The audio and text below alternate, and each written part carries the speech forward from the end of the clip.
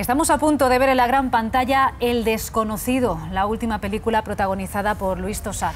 Ha supuesto uno de los grandes retos de su carrera, no despegar las manos del volante de un coche mientras el guion va dando trepidantes giros. Hemos visto un adelanto en el Festival de Málaga.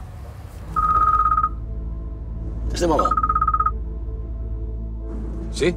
Una llamada anónima es, nunca mejor dicho, el detonante de todo. Disculpa, pero esto no tiene ninguna calla, gracia. Cállate y escucha.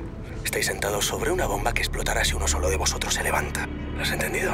A partir de aquí, El desconocido es un trepidante thriller cargado de sorpresas, Estas cosas no pasan aquí. Saluda porque estás en YouTube. tensión Apague el motor y baje del coche. No va a dejar que el niño baje. y mucho suspense. ¿Por qué quiere hacer explotar el coche?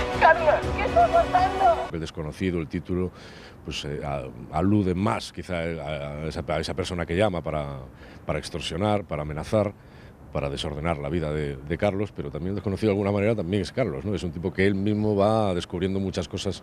Con Luis Tosar como estrella muy solicitada, en el Festival de Cine de Málaga se ha presentado un pequeño adelanto de esta producción de A3 Media Cine. El desconocido está rodada en A Coruña, cuenta con Javier Gutiérrez, Elvira Mínguez o Goya Toledo en su reparto y es además el prometedor primer largometraje de Dani Latorre, un director algo presionado en casa. A mi madre me decía, con ese cast, con ese equipo, pocas excusas tienes. Obvio, por favor, que no hagas ninguna tontería. Será el 24 de septiembre cuando se estrene El desconocido, acción sin freno para los cines españoles. La vida de esa niña está en peligro por culpa de ese chalao y si le pasa algo va a ser tu responsabilidad. Acaba de encender el coche. Tuyo.